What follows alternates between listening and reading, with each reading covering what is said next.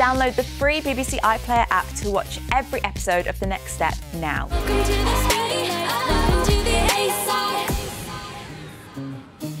And I like to call this little studio the family room. Because here at TNS, we are all one big family. You might have noticed the iconic chandelier or chicken wall at the back. Actually, fun fact for you, this place used to be a poultry factory. Yeah, the studio's founder, Nexion Sturpum, loved dance, but had a massive chicken phobia.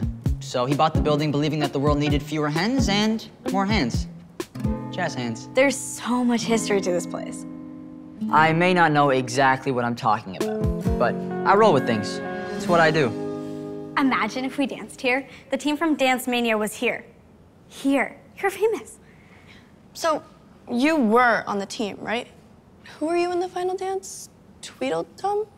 Tweedledee, I picked first. What do you love most about this studio? Besides the decor.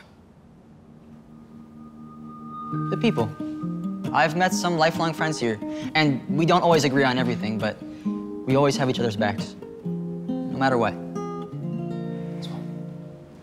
Well, Dance Maniacs, what I've learned from my time here is one thing. The peace and love at the studio, it can't last. We know how easily A Troop falls apart, and I expect the B Troop cannot wait to see it. And I think A Troop's next shake-up might just be their last. That's the T. Tiara Bling, out.